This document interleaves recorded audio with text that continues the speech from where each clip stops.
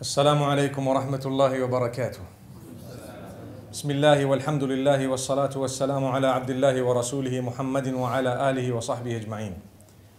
We praise Allah subhanahu wa ta'ala, send blessings and salutations upon Muhammad sallallahu alayhi wa sallam.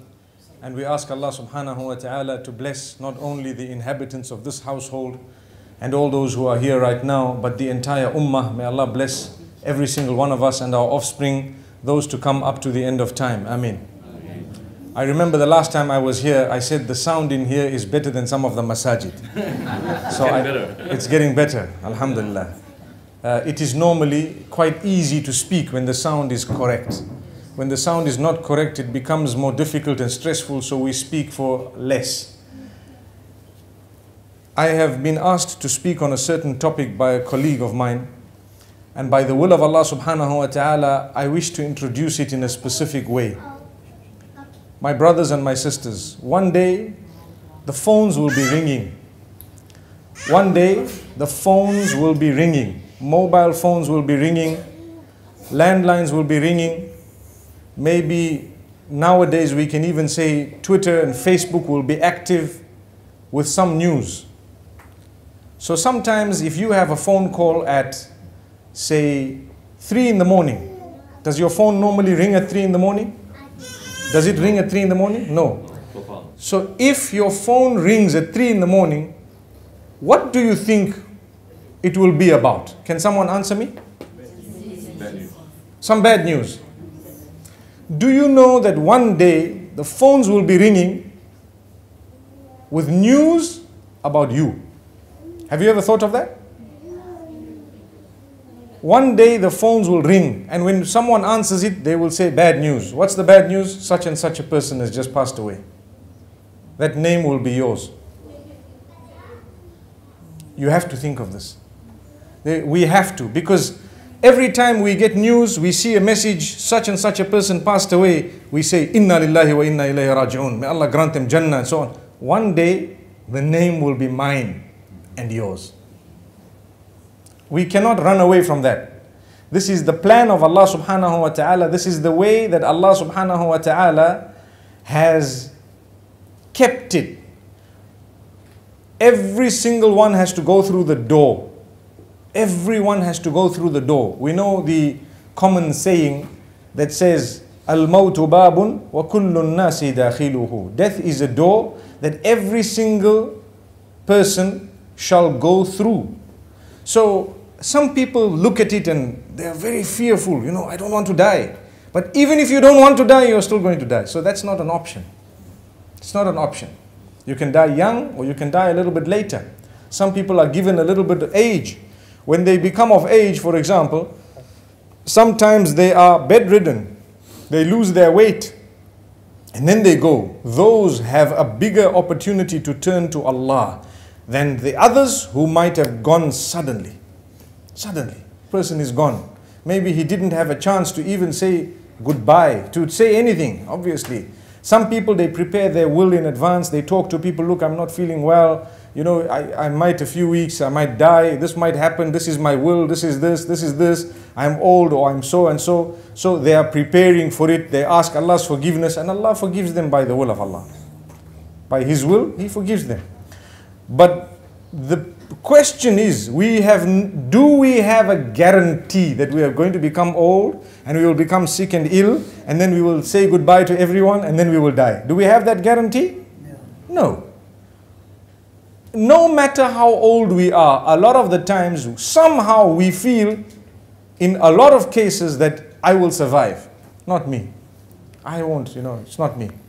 So it's just a feeling. We start thinking me dying until we dead, then the others feel me dying, and it carries on. And then they die. And then the others say, we dying, then they die. Allahu Akbar. So this is why, how should we look at it? Because if we become scared, we will get depressed. Completely depressed in the sense that we won't even want to go out and eat because we're going to say, what's the point of this food? I'm dying.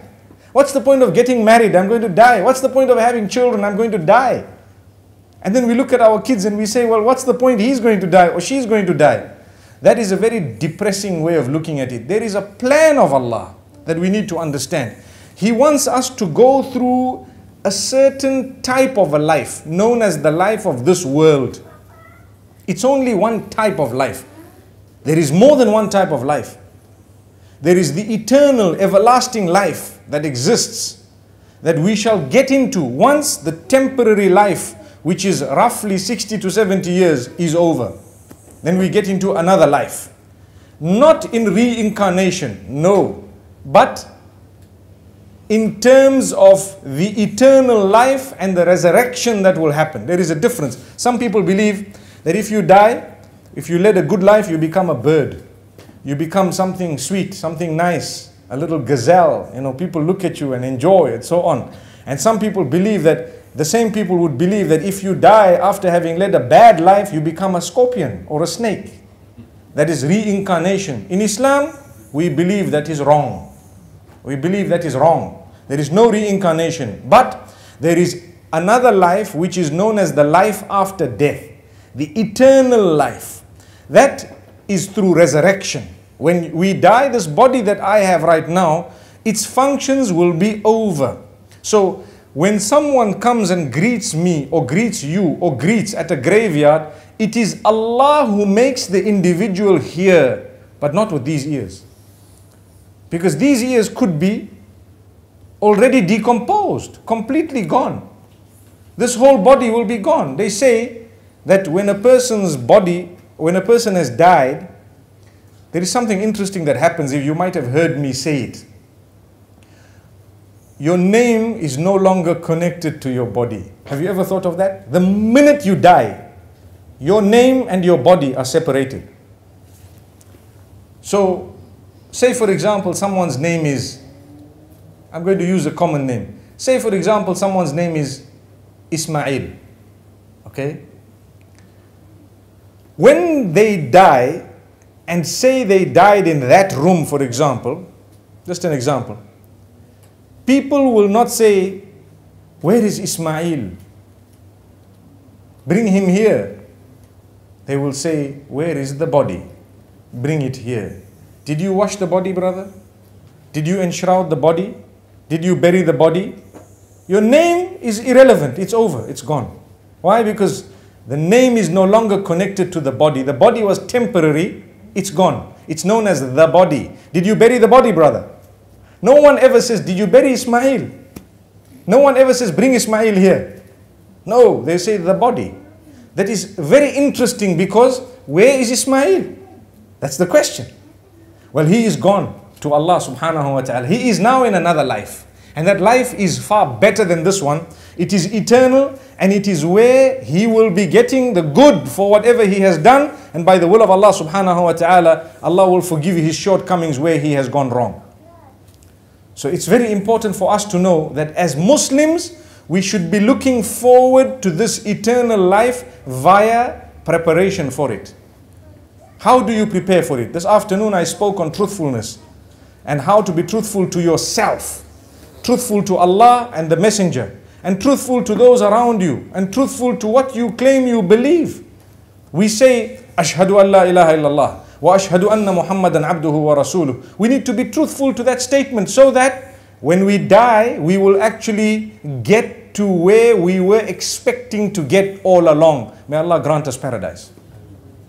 So it's a very important topic because many people fear it. You know, uh, the topic of death is not an easy topic to talk on because it's very dear to the heart. Everyone loves dear life, as they call it. Everyone wants to cling to life. You know, if something happens, we will spend all our money trying to improve our health because we want to cling to life.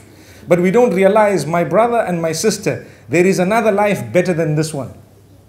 You know, it's like, for example, we get cozy in a house. You know, when you live in a house for a while, you get cozy. So with your eyes closed, you can go to the bathroom, you can turn on the tap, your eyes are closed. And you enjoy the shower, for example, you have everything set. You know, the, you can get into your bed, you have a beautiful sleep, you know everything because you like the house. You've been staying in this, in this house for 20 years. So a lot of the times it happens with the women, with the sisters, that when the husband says, look, we're buying another house, a big house, depending, if they are very comfortable in this house, they will say, we don't want to shift. And the husband has to market the idea to say, you know what, there is a better kitchen. Oh, that's, that's a good one. You know what, there is a lot of facility, you know what, it is like this, it is like that, and you're marketing this beautiful house.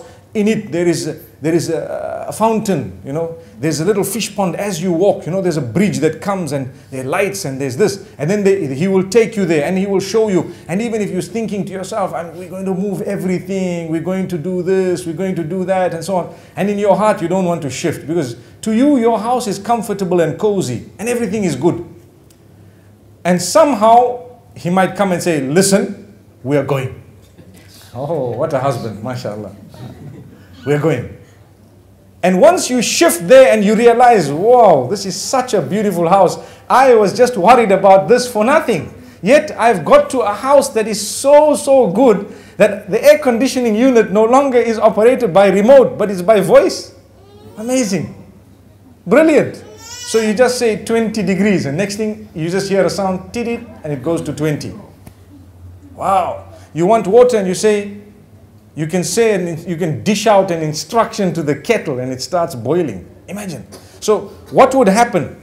Before we went there, we were anxious about this place that are we really going to go to a nice place? I'd rather stay in this place that I know than to shift to this other place. I can give you one real life example. Those of you who go to Mecca, you know, many years ago, the hotels were different from now. So we became comfortable in some hotels and it was hard for us to shift to the big buildings, you know.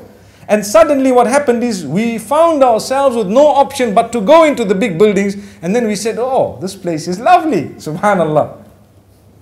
So that is how we treat life, real life. We are so comfortable but this is useless compared to what is waiting for us on the other side. But when we get there, we will laugh, or, or we may, maybe not, the, the term laugh might not be accurate, but we will be surprised to see that what we were fearing is actually far better than what we had in the previous temporary life. Because the life after death is a complete life, it is an everlasting life. There is no fear of death anymore. A lot of the fears that people have are gone. And you know what? You get yourself to a good place known as paradise, and there you look like what you want to look like. Imagine you don't need no more makeup, no more combing your hair, no more worried about this, no more bathroom and so on, nothing, everything gone. You just think about something and subhanallah, wow, Allahu Akbar. So I always ask a question to people. Who wants to go to Jannah? Let's, let's answer ourselves by putting our hands up. Who wants to go to Jannah? Paradise. All of us, mashallah. Brilliant. May Allah grant us Jannah. Who wants to die? Put your hand up. no one. You see, those two questions are connected to each other. Because how are you going to go to Jannah? Everyone wants to go to Jannah, no one wants to die. So Allah says, Don't worry, I will take you away. I will take you away. We are going. It's over. Remember, I told you moments ago? We're shifting the house. It's over. It's an instruction. So we are going. So this is Allah. If He had left it to us, we would waste our time in this world for 100, 200 years, 100 or 200 years without realizing that, subhanallah, we have a better place waiting for us. But there is one thing that needs to be mentioned. For that place, we need a little bit of preparation by the will of Allah. A little bit of preparation. You know, if we have, for example, uh, a job, that job will earn us a salary. But it comes with instructions, it comes with rules and regulations, it comes with a time. At a certain time, you need to arrive at, at work. At a certain time, you shall leave. At a certain time, you'll have lunch. And for example, if you are a salesman or sales rep or someone, you know, in that particular line, they may tell you, your employer may tell you that you will achieve a commission if you work harder. The more you sell, the more you get. For example, a bonus or a promotion. So we work hard. None of us wants to sit on the same position for a long time we will start off, you know, you start off, you work hard, you prove yourself, your bosses see you and they promote you and go up until one day you might take the place of that boss of yours and become the boss. And thereafter you might decide, you know what, now I've had enough, it's the time for someone else to be the boss and I can do something else. So all this shows you that we want to progress in life. But that progress will not happen unless we are disciplined, we have hard work, accountability, and we are people who are responsible. So the same rule applies for paradise. The same rule applies for Jannah. We get to work. What time? Fajr. Don't look at it as a job. But if that is what will wake you up, then no problem. Look at it however you want to look at it. Get up. That's the point. Dhuhr, you're supposed to clock in again, click. You know they have it here in Malaysia and in other countries as well. You have the card that clocks you into work. As you put it in, it tags your time and you take it out. That's your card. We clock it for Fajr, we clock it for Dhuhr, we clock it for Asr. When we have clocked the card five times, you know that's my paradise. You can, at the end of the day, when you're reclining back, you put your card on the side, you say, MashaAllah, I've achieved something great. We are honest, we learn, we learn more about Jannah. Like I started by saying, people are scared. Do you know why they're scared? Because they lack knowledge. They don't know. If you know the goodness of what is waiting for you, you won't mind meeting with Allah. All you do Rather than being depressed and fearful, you just become a person who's concerned. There's a difference between the two. You are concerned, meaning you have hope in the mercy of Allah because you have tried. T-R-Y, try. Try. What is in my hands is the trial. The rest is in the hands of Allah. And one of the biggest methods of earning the pleasure of Allah is to constantly repent. Even if you think you haven't sinned. Because sometimes there are things we have done unknowingly. We ask Allah's forgiveness and we progress in life. And sometimes, even if we haven't done things, but the fact that we are asking Allah to forgive us, it elevates our status. That's why Muhammad used to seek forgiveness so many times a day. One narration says up to 100 times a day. And it's a correct narration. Did he need it? He didn't. But status being elevated, I'm asking Allah, You are my creator. Forgive me. You know, when you have a boss, when you have a boss who's a real, real high individual, well looked up, well looked up to by entire society, and he is very respectful. He's been given lots of awards and so on. The minute he walks in here, you feel something. Hey, that's the boss. Don't make a joke, you know. You, you nudge each other, hey, you know, he's here. And everyone is quiet and people are in awe. Wow, this is the big boss. He's just entered. And you know that you, if he says something, you say, okay, no problem, and you get it done. Agreed? Because he's the boss. What about the one who made you? He made you. He created you. He gave you your identity, your hands, your everything. You know, your thumbprint, when you print it, it's totally different from everyone. Who did that for you? It's Allah, your maker. Can't we treat him with a little bit of respect? Subhanallah. Don't we feel within ourselves that we owe him the obedience of instruction, beautiful instructions he has. He did not keep us in sajda for our entire lives.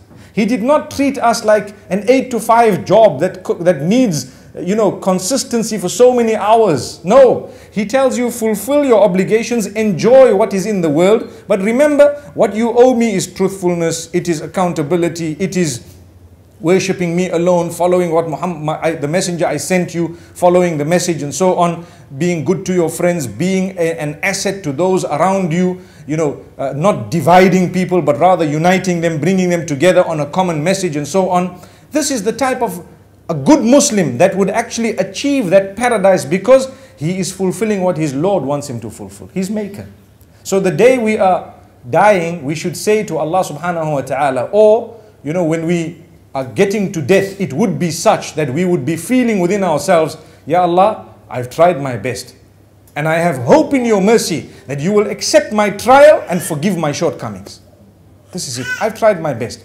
And Ya Allah, as a human, I may have faltered here and there. Forgive me for whatever I've done, knowingly and unknowingly. Some of the sins are major. They require tawbah. They require specific repentance. And some of the sins, they are minor. They, but still, they would require asking Allah's forgiveness. So we ask Allah subhanahu wa ta'ala to forgive us. So my brothers and sisters, the, the, the point I'm trying to raise this evening, and I'm sure you've picked it up, is that every one of us shall be the talk of the town or the talk amongst our relatives the day we go.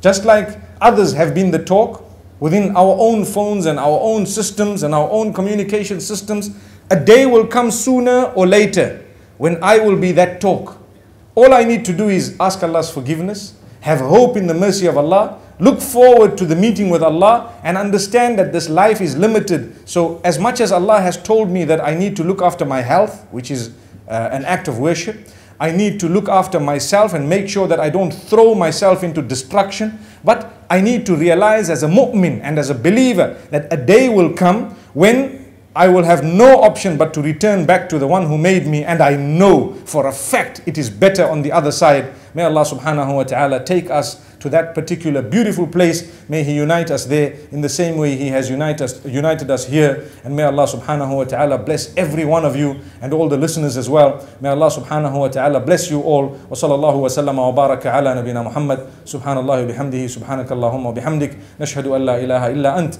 Nastaghfiruka wa natubu ilayk.